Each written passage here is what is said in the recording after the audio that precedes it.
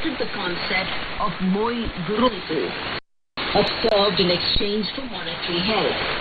The cause was no individual or a family in distress, but to raise funds for restoration of water bodies and farming in Tamil Nadu. It all started when the Tamil diaspora belonging to various Tamil organizations such as the Tamil Sangam of Greater Washington and Tamil schools wanted to support their brethren back home who are really under severe drought. They joined hands with AIMS India Foundation in Virginia, United States of America that has implemented projects to rejuvenate waterways in Tamil Nadu. Besides the main program, Moi Virundu, people also got a taste of millet-based foods, traditional games like Pallanguzhi and Pambaram, and enjoyed folk dance performances.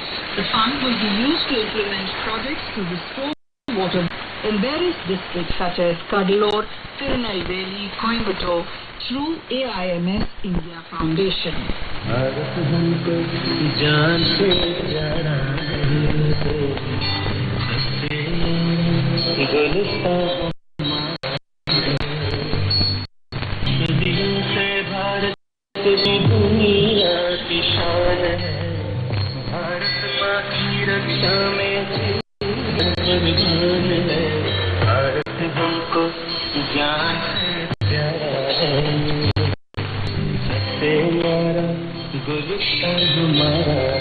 Internationally acclaimed Indian American surgeon Dr. Kesh Chawala was recently honored with the prestigious Healthcare Visionary of the Decade Award at 4th Annual Business Leadership Conclave in Mumbai.